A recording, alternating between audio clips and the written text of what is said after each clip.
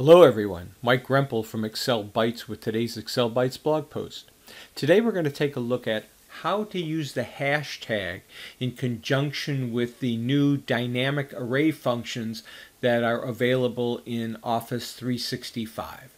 So let's see how to do that in Excel. So here is a list of the six dynamic array functions that became available with Office 365 plus two other new functions that kind of take advantage of these dynamic array functions. Now we're not going to go through these in detail. I've done tutorials on some of them and we'll do more on the rest. But more importantly, I want to show you how the hashtag option is used in conjunction with these dynamic array functions in Excel. So first I'm going to use the filter function to create a filtered list of items from my inventory table here. So I'm going to type equals filter tab.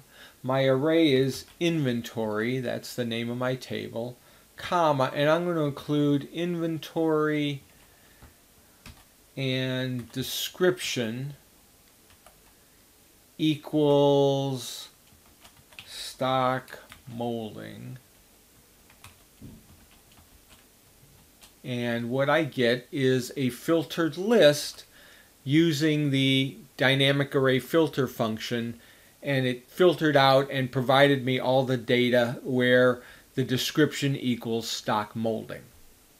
Now if I went over to cell M2 and I typed equals and selected G2 and hit enter it would just give me the value that's in cell G2.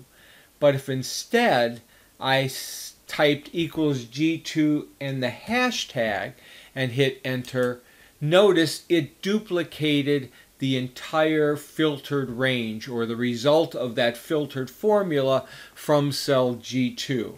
Now again, I'm going to do that again. If I type equals G2, notice Excel just highlights that one cell. But as soon as I add the hashtag, notice it highlighted the entire range and now when I hit enter it pulled that full range in. Let me show you another example that's using another of the dynamic array functions. I just want a unique list of the items in the description column. So I'm going to type equals unique and then my array again is going to be the inventory table and the description column. Close my parentheses and hit enter and Excel provided me a unique list of the items that are in that column. So now if I wanted to create a data validation list based on this unique list of descriptions, I would select that cell, go to data validation, select list, and I could type equals I11.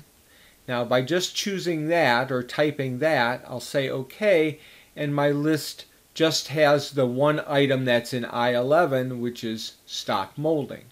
However, if instead I had equals I11 and added the hash symbol and said OK, Excel would now pull in that entire list that was generated by a dynamic array function, which was the unique function.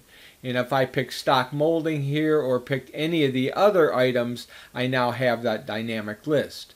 I can now go up to my filter function and instead of typing in stock molding as my choice, I can just reference this data validation item and now it will provide a filtered list based on this selection. So now if I change this to two-piece hub, that changes along with what I typed in cell M2, which is equals G2 hashtag.